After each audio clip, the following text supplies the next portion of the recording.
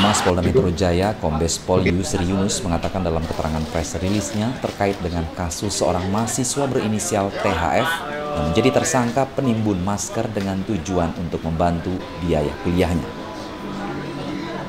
THF sendiri ditangkap oleh petugas unit 3 Reserse Kriminal Polsek Tanjung Duren, Jakarta Barat saat tengah berada di dalam sebuah lift. Dirinya tertangkap saat memindahkan tiga dus masker untuk ditimbun di apartemen miliknya.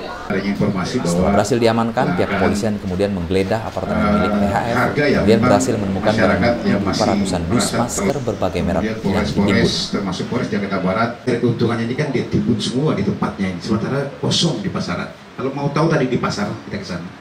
Satu toko itu cuma ada sekitar empat kotak sampai lima kotak. Makanya dinaikkan harganya main. Kita sudah cek toko-toko yang ada di Jalan Pramuka itu.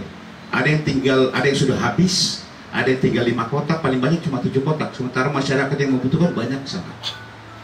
Ya, sementara. Tapi yang kita ketahui sekarang kita temukan di dalam kamarnya malah 350 kotak untuk mencari keuntungan. Itu memang unsurnya masuk dalam situ. Oke, silakan.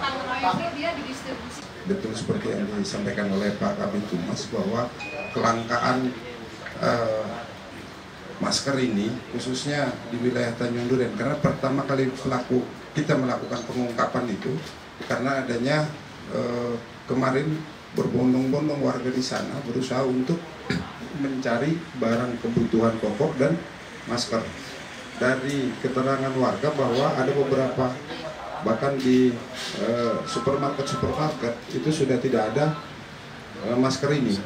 Dari itu kemudian kami mendapat informasi juga bahwa ada seseorang yang menjual masker dengan mengupload foto-foto maskernya banyak sekali ya di Instagram. Dari situ kami lakukan uh, penyelidikan dan alhamdulillah kami bisa menangkap ini. Demikian, terima kasih. Jakarta, Muhammad Iqbal, Tribrata TV, Salam Tribrata.